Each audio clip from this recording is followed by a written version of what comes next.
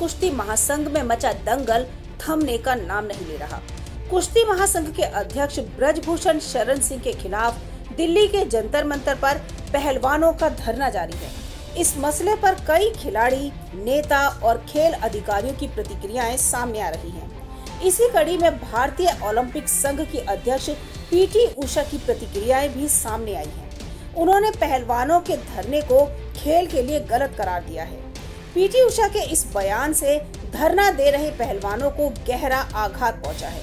PT Usha के बयान पर पहलवान साक्षी मलिक ने कहा कि यह सुनकर बहुत दुख हुआ, क्योंकि एक महिला खिलाड़ी होकर वे महिला खिलाड़ियों की नहीं सुन रहे हैं। हम बचपन से उनको फॉलो करते आ रहे हैं। उनसे प्रेरित भी हुए हैं। Detailedly you will get the press release but uh, actually for uh, what i feel um, our feeling is that now for uh, this uh, sex harassment all those things uh, IOA is having a, a committee of athletic commission here instead of going to the street and doing all those things they could have come to us uh, earlier itself but they have not at all come to IOA also but still because all those things from uh, government and thing उन्होंने देश के लिए इतना अच्छा किया है लेकिन हमने कहाँ अनुशासनहीनता कर दी हम तो शांति से यहाँ बैठे हैं। अगर हमारी सुनवाई हो जाती तो हम यहाँ बैठते भी नहीं।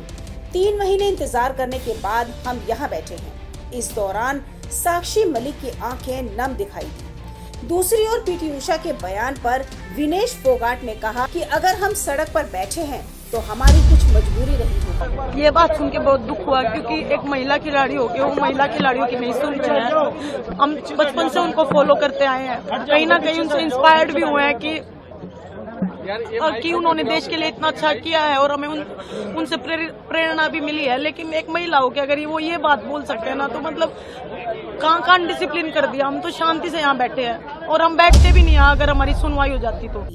चाहे खेल मंत्रालय हो या आईओए किसी ने हमारी नहीं सुनी।